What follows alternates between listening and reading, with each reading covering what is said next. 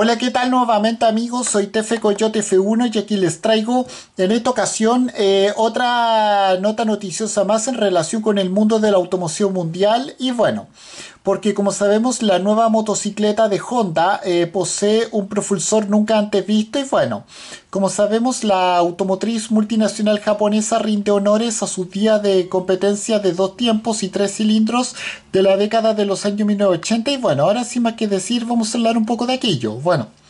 como sabemos la inducción forzada en las motos no es algo nuevo pero el último eh, vehículo conceptual de la automotriz multinacional japonesa Honda lo aborda de un modo completamente nuevo y bueno, basándose en su legado de décadas de motos con alimentación forzada, por ejemplo, la CX650 Turbo, la automotriz multinacional japonesa está creando un prototipo con un motor V3 turbo alimentado eléctricamente, un eh, un motor diseñado para generar eh, grandes cantidades de potencia en un paquete compacto y bueno. Eh, el nuevo prototipo se presentó precisamente en la reciente versión 2024 del Salón de la Motocicleta de Milán, también conocido como EICMA, y bueno, mostrando cómo la, su filial eh, Honda Powersport cuenta con la misión de ofrecer un alto rendimiento a partir de diseños de combustión interna de alta eficiencia. Bueno, en vez de un turbocompresor o un compresor común y corriente que hace girar los gases del, escape, Honda desarrolló el primer supercargador de propulsión eléctrica de la industria automotriz y lo está conectando a un pequeño motor tipo V3 y bueno, como explica un análisis de, la página web Cycle, CycleWorld, cuyo enlace se encuentra aquí, esta configuración de, motor no es bastante extraña, pero la reintroducción de su diseño en un mundo con cuatro tiempos con emisiones trianguladas es algo notable y bueno. El motor está orientado con, forma de V a 75 grados. Todos los tres cilindros miran hacia adelante, mientras que el tercero está ubicado hacia la parte posterior del cuadro de, esta moto. Y bueno, Honda eh, eligió eh, usar un diseño de doble árbol de levas en cabeza en el motor y Cycle Gore sugiere basándose en las imágenes de esta nota noticiosa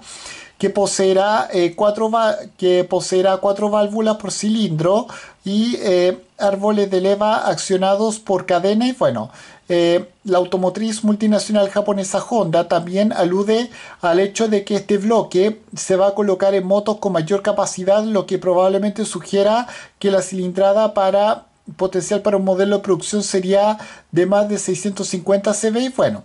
la verdadera esencia de esta tecnología es el compresor centrífugo que eh, la marca Honda eh, utiliza para comprimir la molécula de aire. Este sobrealimentador eléctrico no depende de la velocidad del motor para accionar su rueda compresora, sino que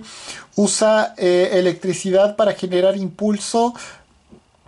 independiente de las revoluciones por minuto y bueno.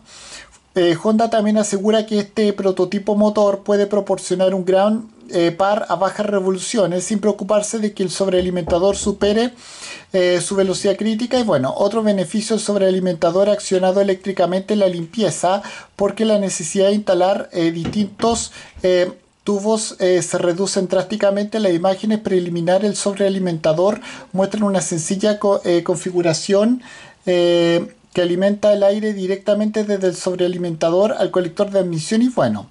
aunque el prototipo posee un chasis de tubo liso, eh, no está claro en qué motocicleta, eh, en qué moto se va a colocar el motor tipo V3 para eh, supercargado eh, para lo que sea la producción, pero no parece importarle mucho a la automotriz multinacional japonesa Honda en esta etapa. Y bueno, en cambio la empresa automotriz multinacional nipona parece ansiosa por eh,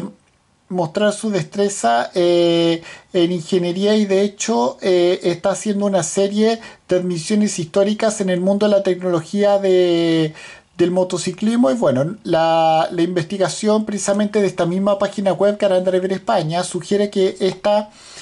que esta es de hecho la primera moto que posee un supercargador eléctrico, aunque la tecnología se está volviendo bastante común en los coches modernos y bueno, De forma similar, el resurgimiento de un diseño motor tipo V3 con forma de cuatro cilindros emocionante porque el propio linaje de Honda está lleno de, de modelos tipo V3 de dos tiempos como los modelos NS500 y NS400R y bueno. La automotriz multinacional japonesa Honda anunció que la cifra potencia, los plazos de producción y el nombre del motor están por llegar y bueno, el desarrollo eh,